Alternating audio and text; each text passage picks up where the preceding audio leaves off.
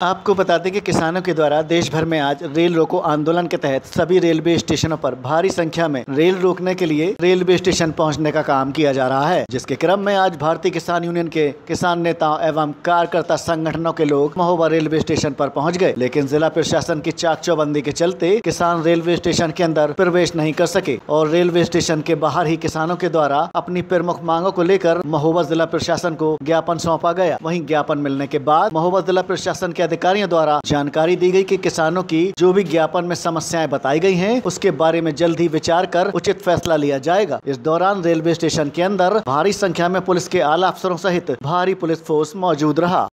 किस प्रकार का? राम खिलावन शुक्ला नाम है मेरा जिला अध्यक्ष भारतीय किसान यूनियन महोबा आज हमारा राष्ट्रीय वाहन पर रेस्ट लोगो रेस्ट रेल रोको आंदोलन है। हम लोग रेल रोकने जा रहे हैं। अभी इस समय कहाँ हैं आप? रेलवे स्टेशन महुआ में है। अंदर जाएँगे रेल रोकेंगे। जाओ निकल।